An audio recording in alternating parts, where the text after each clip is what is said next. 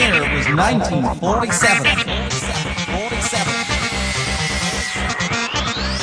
We interrupt this program to bring you reports of unidentified flying objects over Roswell, New Mexico.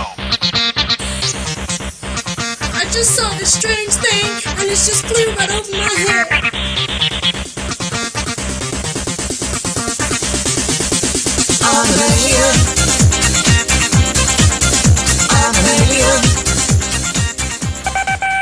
Headline edition, July 8, 1947.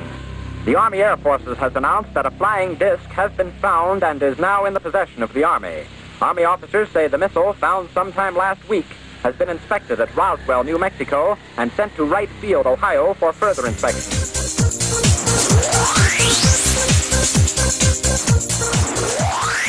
Ever since the Roswell incident back in 1947, there has been many conspiracy theories surrounding the crash. None more so than the findings of three aliens, two supposedly dead and one barely alive at the crash site.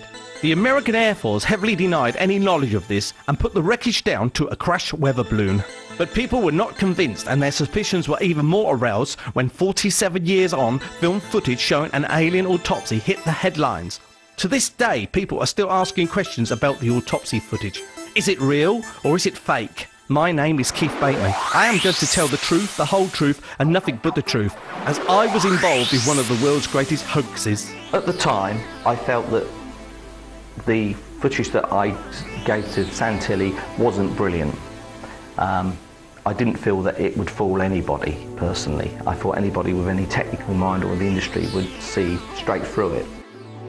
When I first decided to make the footage, in my mind was to try and shoot it very badly so it looked very authentic. The footage was filmed in colour. I kept playing around with the aperture on the camera to give it this uh, effect of a flicking light uh, as you would do on an old film projector. This was in my mind so that when I actually got the footage I could downgrade it, which is what I did. I actually dropped it um, down black and white. I then pushed it through the VHS machines and then recorded it again on beta.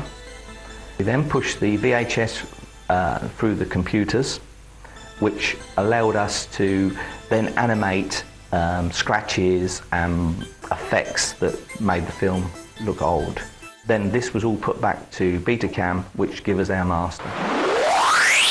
This is Mark Starkey, model maker to the film industry, talking about the Santilli footage. The alien autopsy footage um, in itself was, as a, as a piece of, of filmmaking, is very good.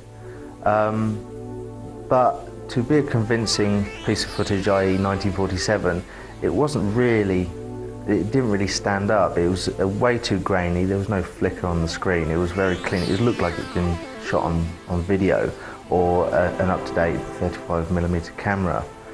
Um, as far as the alien involved in it, um, it didn't look like it had an accident.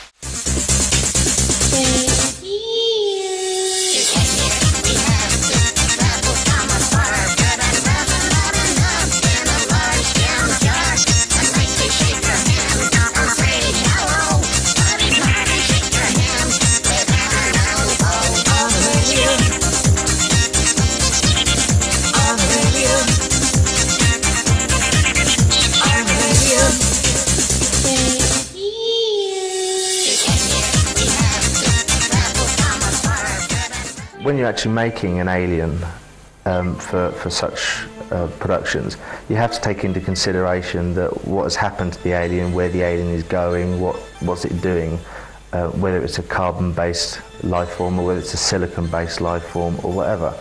So once you've actually taken those into consideration, you, you then create the alien from that. It was too clean. It had it, it should have had some sort of like head injury. What killed the alien? It did just die because it felt like it. It had the accident. There was some reason, some trauma that made this alien die, and there was no.